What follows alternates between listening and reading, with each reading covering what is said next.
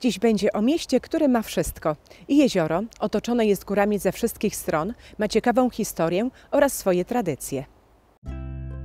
W dzisiejszym odcinku zapraszamy do Żywca. Odbędziemy podróż w czasie po najbardziej znanym browarze w Polsce. Opowiemy o dramatycznych losach linii żywieckiej Habsburgów. Pokażemy, czym kończyło się nieposłuszeństwo wobec rodziców. Gotowi?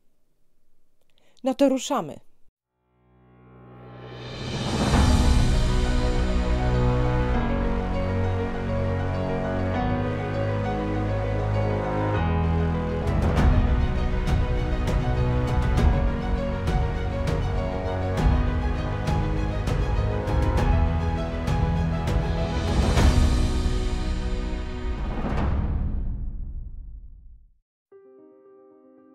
Na początek wyjaśnijmy znaczenie samej nazwy żywiec. Nie wierzymy legendzie o bogini żywi, lecz ufamy językoznawcom. Według nich nazwa związana jest z tutejszą tradycją handlu żywcem, bydłem, owcami, trzodą chlewną i ich żywieniem, żołędziami oraz wypasem. Jeszcze w średniowieczu pojawiła się też niemiecka nazwa miasta Zajbusz. Zał to świnia, a busz krzak. W naszych filmach staramy się pokazywać miejsca, w których zaczęła się historia przedstawianego miasta. W przypadku żywca nie jest to możliwe, ponieważ najstarsze miejsce w jego historii znajduje się pod wodą. W 1966 roku na rzece Soła została zbudowana zapora i powstało jezioro żywieckie. Kilka wsi malowniczo położonej pośród Beskidów Kotliny Żywieckiej znalazło się pod wodą, w tym Stary Żywiec. To właśnie tam, na przełomie XIII i XIV wieku, żywiec został lokowany po raz pierwszy przez jednego z książąt cieszyńskich, do których wtedy należały te ziemie. Miejsce nie było wybrane najlepiej, gdyż często było niszczone przez wody wylewającej soły. Z tego powodu na początku XV wieku miasto zostało przeniesione w bezpieczniejsze miejsce u zbiegu Soły i Koszarawy i ponownie lokowane.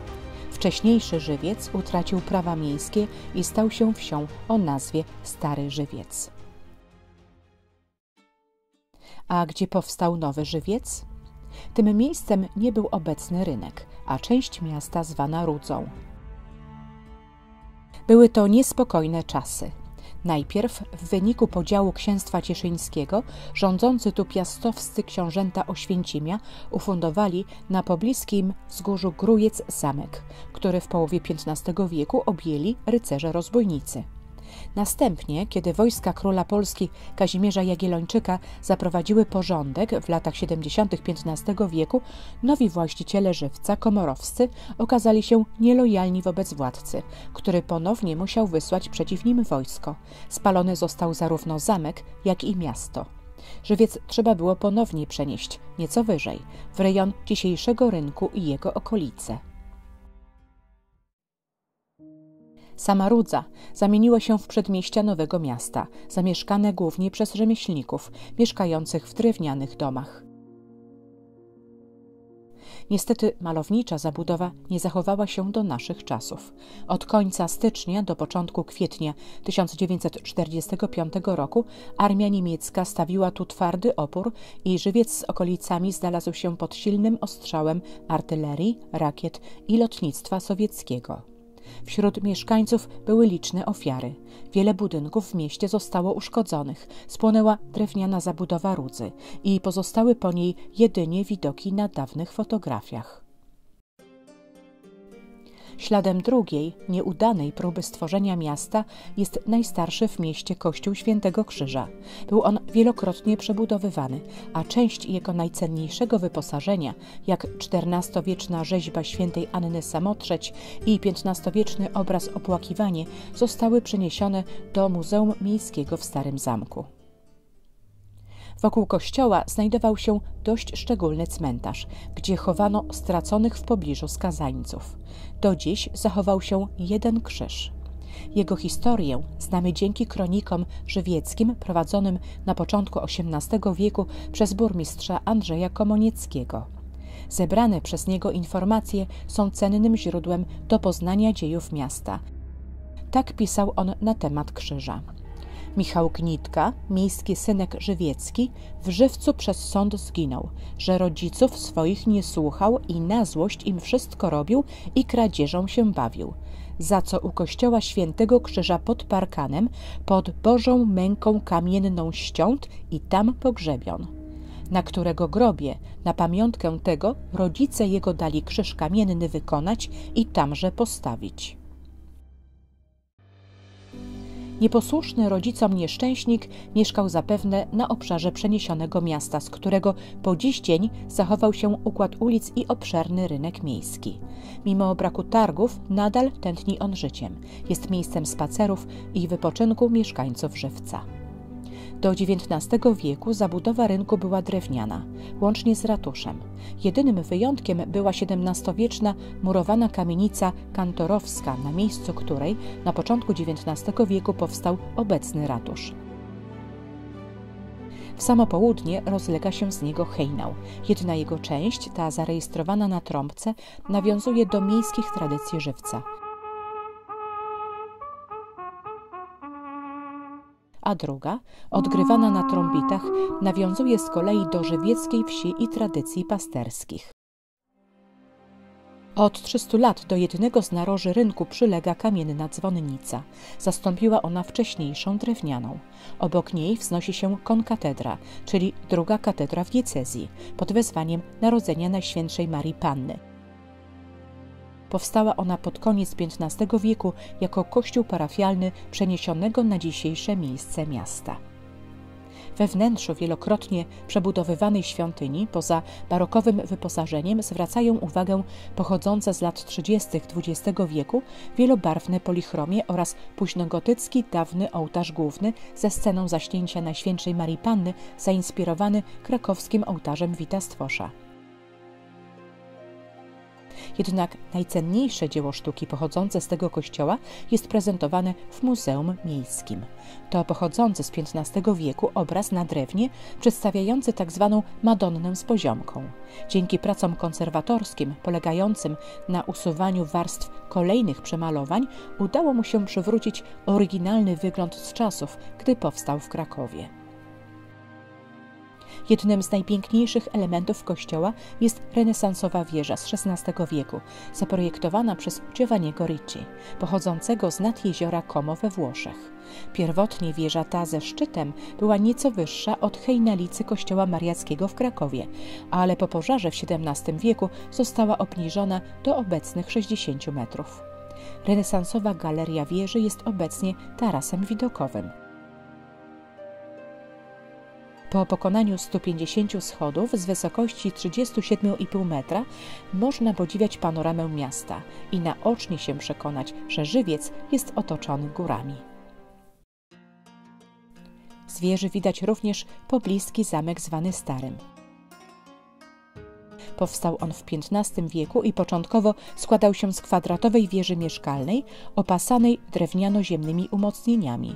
W takim kształcie stał się własnością rodziny Komorowskich, którzy go sukcesywnie rozbudowywali i przebudowywali. Powstały cztery wieże, z kolei drewniano-ziemne umocnienia zastąpiono murami z czterema półbasztami. Zamek otaczały fosa i młynówka. Na przełomie XVI i XVII wieku na dziedzińcu wzniesiono krużganki, które stopniowo powiększane i modernizowane zachowały się do naszych czasów jako jedne z najpiękniejszych na polskich ziemiach. Rządy rodziny Komorowskich w Żywcu i na zamku zakończyły się wraz z Mikołajem Komorowskim, hulaką, który tonąc w długach oddał swój majątek w zastaw królowej Konstancji, małżonce Zygmunta III Wazy. Po królowej zamek trafił w ręce jej syna, Jana Kazimierza, który przez Żywiec dwukrotnie opuszczał Polskę. Po raz pierwszy uciekając podczas szwedzkiego potopu na Śląsk i po raz drugi udając się po abdykacji do Francji. Współczesny kształt zamku zawdzięcza XIX-wiecznej przebudowie w stylu Rundbogenstil, czyli arkadowo-łukowym. Mieszczą się w nim Urząd Stanu Cywilnego i otwarte w 2005 roku Muzeum Miejskie. Przedstawiona w nim jest historia miasta, a także najcenniejsze dzieła sztuki z ziemi żywieckiej i obrazy Jana Kazimierza Olpińskiego, ukazujące portrety mieszkańców oraz ważne wydarzenia w dziejach żywca z czasów odzyskiwania przez Polskę niepodległości w czasach I wojny światowej. Na wystawie można też zobaczyć jeden z najważniejszych elementów żywieckich tradycji mieszczańskie stroje, jedyne z najpiękniejszych pośród polskich ubiorów tradycyjnych. Mieszczański strój żywiecki nawiązuje do dawnych strojów szlacheckich i początkowo był podobny do ubioru mieszkańców innych miast. Formy, które obecnie znamy, przyjął w XIX wieku, a o jego charakterze zdecydowały importowane bogate tkaniny, zwłaszcza tiul. Czarny strój męski składający się z żupana, spodni, aksamitnej czapki czamarki, butów z miękkimi cholewami i pasa wzorowanego na szlacheckim pasie słudzkim wygląda skromnie przy strojach kobiet, zarówno mężatek, jak i panien niezamężnych. Te pierwsze odróżniało nakrywanie głowy ozdobnym czepcem zwanym złotą capką i ciemne barwy stroju w przeciwieństwie do pastelowych strojów panien. Jedne i drugie nosiły pod adamaszkowymi i atłasowymi spódnicami kilka sztywno krochmalonych halek, aby nadać kobiecie idealny kształt, czyli, cytujemy, dorodnej kopy siana. Największą ozdobą były tiulowe fartuchy, chusty oraz łoktusze, czyli szale sięgające po łokieć z haftowanymi motywami kwiatowymi. Tak kosztowne i wystawne stroje miały charakter świąteczny i były noszone podczas najważniejszych wydarzeń, takich jak kościelne procesje. Stroje codzienne były znacznie skromniejsze, a podczas mniej ważnych świąt kobiety nosiły pory, czyli świąteczny strój uboższych mieszczek. Na zamku można również zwiedzić dwie sale z pomieszczeniami nawiązującymi do białego salonu i gabinetu arcyksięcia Karola Stefana Habsburga ze znajdującego się obok pałacu tzw. Tak Nowego Zamku. Pałac ten powstał w XIX wieku z przebudowy zamkowych oficyn, gdy Żywiec i całe latyfundium, złożone z kilkudziesięciu wiosek, przeszło w ręce Habsburgów, którzy także przebudowali stary zamek, a przylegający do obu budowli park w stylu włoskim przekształcili w park angielski z ponad siedmioma tysiącami drzew, wodospadem i mostkami. Z wcześniejszego parku zachował się domek chiński przekształcony w miejsce zabaw dla dzieci z rodziny Habsburgów. Początkowo właściciele tzw. Tak państwa żywieckiego mieszkali poza żywcem i dopiero arcyksiążę Karol Stefan zdecydował się przenieść na stałe do swoich żywieckich włości.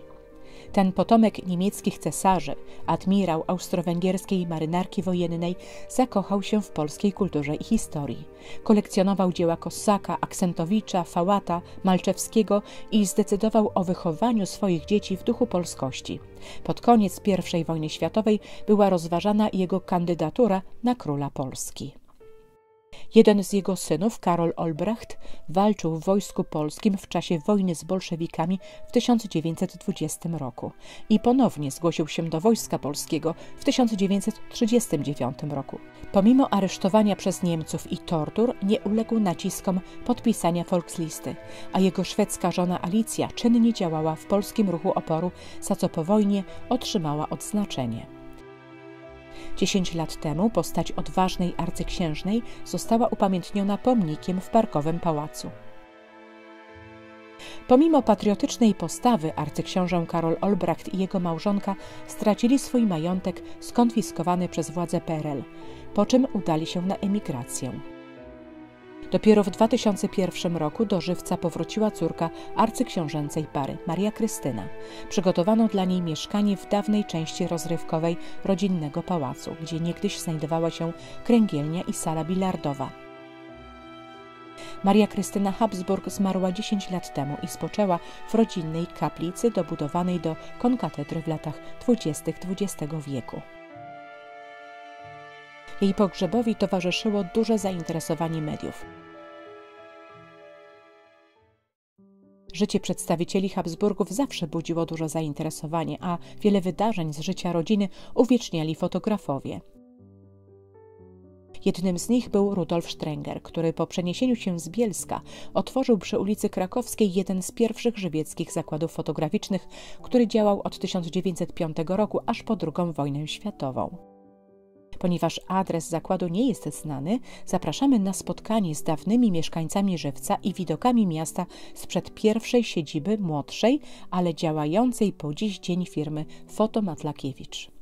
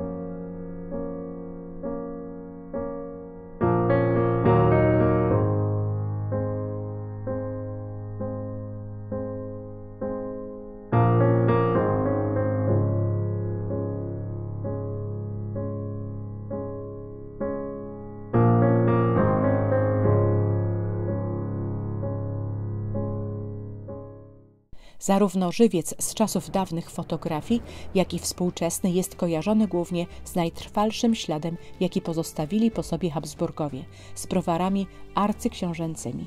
Zostały one otwarte w 1856 roku przez pierwszego z żywieckich Habsburgów, arcyksięcia Albrechta Fryderyka. Kontynuował on te piwowarskie tradycje ojca, który założył browar cieszyński, pokazany przez nas w filmie o Cieszynie. Sama produkcja piwa nie była w Żywcu nowością.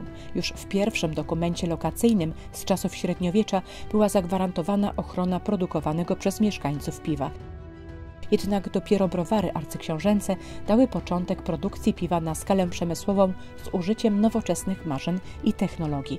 Rozwojowi sprzyjała też bliskość sieci linii kolejowych. Ważnym dla produkcji piwa w żywieckim browarze było wykorzystywanie krystalicznie czystej wody z rzeki Leśnianka, mającej swój początek na zboczach Skrzycznego. W nawiązaniu do źródła wody do produkcji piwa jedną z pierwszych znanych marek był strój żywiecki. Już po wojnie, w 1954 roku, zdrój został zastąpiony najbardziej znaną marką tego browaru Żywiec Jasne, ze słynną etykietką pary tancerzy w krakowskich strojach. W latach II wojny światowej browar został znacjonalizowany i piwo było produkowane głównie na potrzeby armii niemieckiej. Po wojnie browary pozostały w rękach państwa, a po prywatyzacji w 1994 roku stały się częścią holenderskiej grupy Heineken. Od 1999 roku pod nazwą Browary Żywiec SA. Aktualna produkcja to ponad 5 milionów hektolitrów piwa rocznie. O historii browaru niezwykle ciekawie opowiada muzeum usytuowane w najstarszej części zakładów leżakowni. Zwiedzanie jest podróżą w czasie niemal dosłowną, ponieważ w trakcie zwiedzania należy wejść do środka wehikułu czasu. Uwaga, podczas tej podróży mocno trzęsie, który przenosi nas na XIX-wieczną ulicę z karczmą do żywieckiej restauracji z kręgielnią, a także pozwala poznać historię produkcji oraz najbardziej znanych marek żywieckiego piwa. Podczas zwiedzania można też się dowiedzieć, że przed wojną każdemu pracownikowi browaru przysługiwało od 2 do 6 litrów piwa dziennie. Na zakończenie tej podróży w czasie można zdegustować całkiem współczesne piwo. Każda wizyta, nawet w najciekawszym mieście, musi dobiec końca. Także ta w Żywcu, ale przed odjazdem warto udać się na wieczorny spacer, przyjrzeć się miastu po zmroku. I pójść raz jeszcze na rynek, który za sprawą jesiennego chłodu powoli pustoszeje. Stanąć przed konkatedrą, białymi murami starego zamku, i podziwiać parkowe drzewa. Jeśli interesują Cię podróże po Polsce z małą dawką wiedzy historycznej, czyli podróże w czasie i przestrzeni, to zasubskrybuj nasz kanał.